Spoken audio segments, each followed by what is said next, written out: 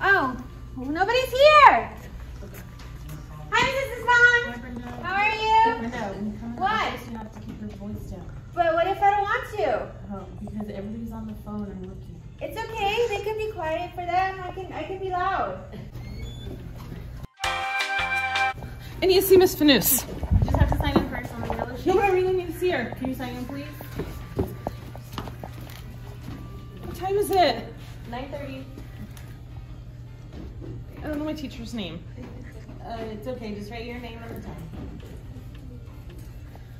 Okay, I really need to see her.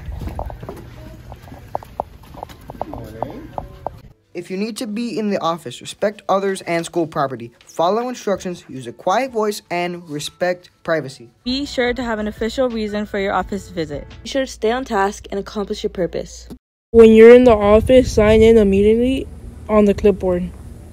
If you need to see someone in the office, be sure to make an appointment before you walk in. You can make an appointment by sending an email to see your counselor or SRO Hernandez. And be mindful that people are working in the office and we can all help out by being responsible for our own time in the office.